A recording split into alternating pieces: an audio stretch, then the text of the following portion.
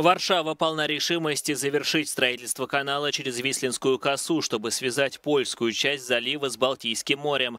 Сейчас пройти сюда корабли могут только через российские воды. Между тем, как подчеркивают в правительстве, речь идет о границе Евросоюза и НАТО.